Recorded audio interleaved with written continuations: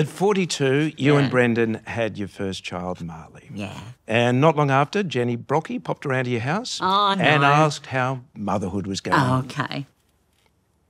Do you feel confident about it? Do you feel positive about No, it? I've do- I'm not very confident about it. I kind of think I'm a bit.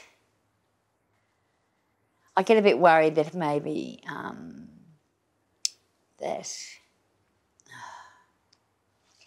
I get.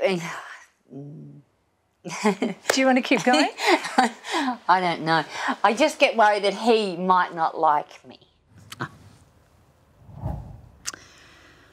He loves me. Mm. That's a, yeah. That's Yeah. a deeply honest admission. Yeah, I, I you know, I'm part of.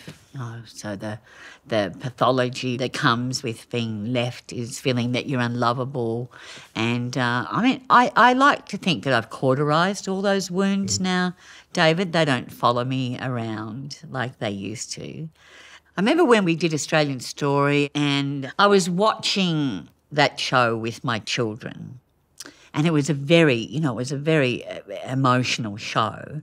Um, I was working with Interplast at the time, and we went to Fiji, and we were looking at kids who'd been born like me, who were having surgery and so on. So you know, it was pretty full on for a couple of little kids. And I remember the day after the program, and I was driving them to school, and they were in the back seat, and I hear this little voice, Marley, pipe up. He says, So, what did happen to your face, Mama?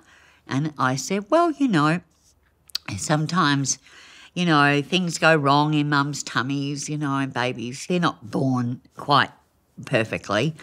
And he looked at me very carefully. He said, The doctors did a really good job, didn't they, Mummy? He said, You are the most beautifulest mama in the whole world. And then Maeve said, Yeah, and you are my, our sparkling diamond heart. And off they trotted. Well, I, it's where the- I, I just sat in that car and I just cried for half an hour, I mm. think. I just felt my heart was healed then. Yeah. And I think my children were sent to me to heal my heart. And I didn't know that at the time when he was born, but I know it now. Beautiful.